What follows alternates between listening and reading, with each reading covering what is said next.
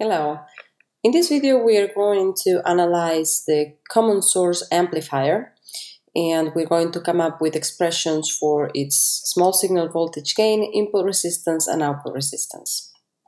So I have drawn uh, a basic schematic for a common source amplifier where the input is applied at the gate and the output is taken out of the drain, the source being the common terminal and since we're trying to come up with an expression for its small signal uh, characteristics, gain input resistance, output resistance, I have drawn the small signal AC equivalent circuit on the right hand side. Um, and so these two circuits, we can say they're equivalent uh, for small AC signals. Uh, so I have my input. Uh, notice that my transistor is what I have encircled in my orange um, area there. And so basically the model consists of, there's an open circuit from gate to source, and uh, there is a current source from um, drain to source whose value depends on the input signal VGS. It's GM times VGS. And just as a reminder, GM is that MOSFET, uh, the, the transconductance of the MOSFET, uh, which we can calculate using uh, different equations depending on which uh, depending on what what values of parameters we have. Um, very often you know we're going to have uh, to use the last expression 2id over vov because uh, that's just being able to calculate depending on the on the q bias point but not always uh, so, and oh, notice that I have excluded the little ro resistance from my model. Uh, and that's just to simplify calculations. We could include it if we wanted to. Um, and that will just go inside the transistor, little ro, in parallel with my current source. And its value would be 1 over lambda times the quiescent drain current, or uh, you know, this will be the equivalent of the early voltage over the drain current, even though as we have seen for MOSFET transistors, it's, it's more common to see the lambda parameter um, specified. Uh, and so, uh, first of all, let's come up with an expression for the uh, small signal voltage gain by analyzing the small signal equivalent circuit. And again, voltage gain uh, is an expression of the ratio of output voltage over input voltage. So that's what I'm trying to come up with. So uh, first thing I notice is that my input voltage is equal to my VGS voltage. And that's just because of the uh, connections there. Uh, the source is tied to ground and uh, V in is the voltage that appears at the gate. And so it turns out to be simply equal to VGS. And V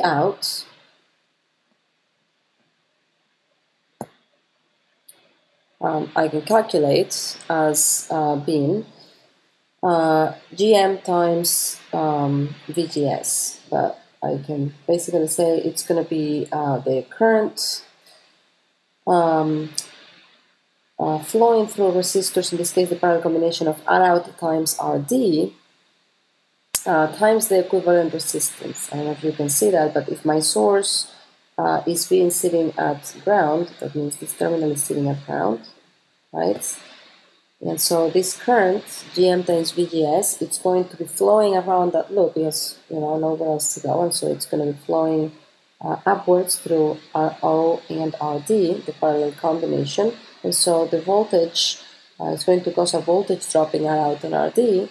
Um, and um, so that V out is going to be negative. It's going to be minus that current GM VGS times the parallel combination of those resistors.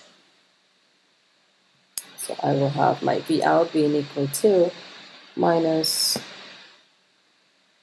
GM VGS, the current, times the parallel combination of R out and RD.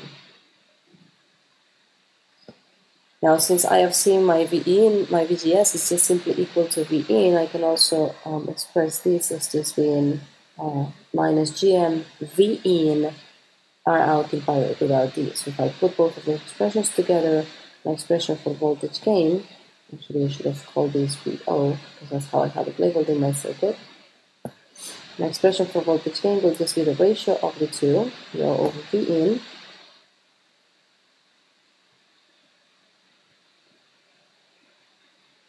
that's V in, so I can solve from that last equation it's simply equal to negative gm times little divided with RD.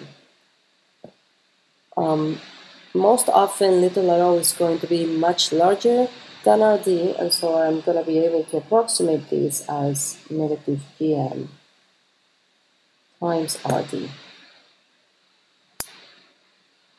Um, and this is similar to the expression that we had for um, the common emitter amplifier, where we had minus RD divided by little re, or uh, minus G, uh, RC divided by little re, or GM times minus GM times RC.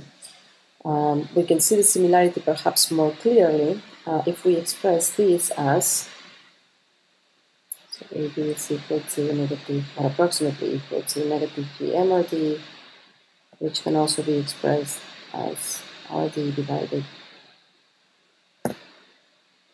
by 1 over GM. Uh, and if you recall, little re was exactly the same as 1 over uh, GM.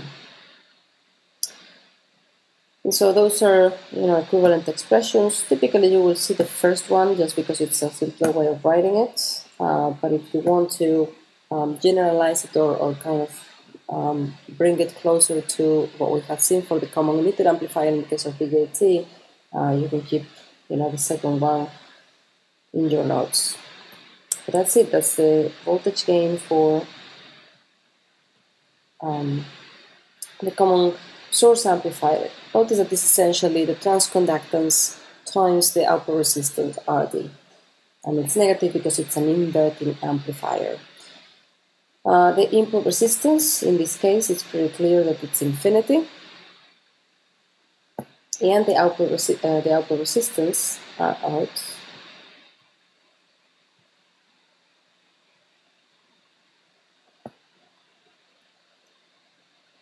um, I can calculate by uh, turning off my input signal and applying a test source at the output.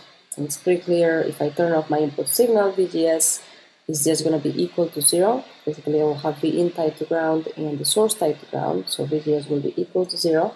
Therefore, my current source, which is dependent on VGS, will be equal to zero, so it will be an open, and so I will be left with um, little rho in parallel with RD.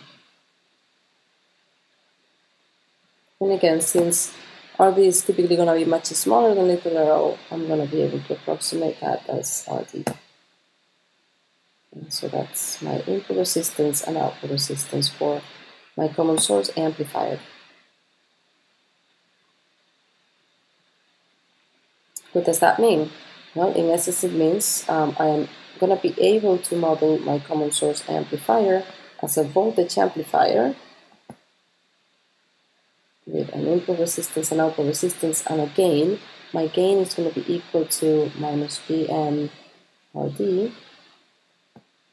This is my R out, approximately equal to RD, and this is my R in, approximately equal to or equal to infinity in the case of the uh, MOSFET, and so I can represent that with an open circuit.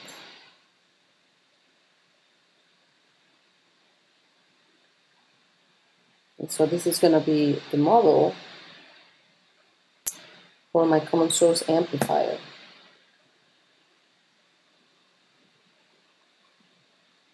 That two-port model that we talked about earlier. Okay. Um, things to notice, it has similar characteristics as we mentioned to the common emitter amplifier, but it has higher input impedance, and so it's going to be even more desirable as a um, um, as a voltage amplifier. So let's make a little note here. Similar characteristics to BJT common emitter amplifier, but with higher RA.